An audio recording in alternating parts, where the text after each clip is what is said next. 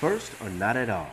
4-1 Field Artillery sharpens their skills at a direct fire range at Fort Bliss, Texas. Coming back from a nine-month rotation, this training is crucial. Uh, this is direct fire training. Um, right now, we just got new tubes on the gun, so we're seating tubes. Uh, that's why we're all shooting one round right now. Um, but after that, we're going to let, let these fly. Ensuring the tubes are properly seated is important due to them being replaced during their deployment. Each time that we go out and do a live fire, we have to verify that the tubes are properly seated.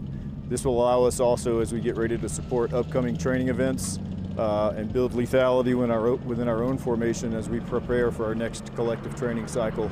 It'll help us to ensure that we're safe and trained and ready to execute this mission.